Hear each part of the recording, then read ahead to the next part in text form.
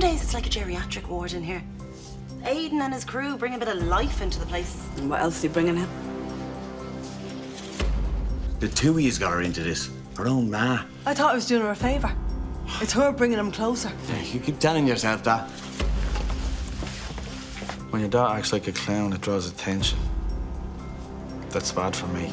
It's bad for you. Fair City. Life with a sharp edge. On RTE1 and RTE Player.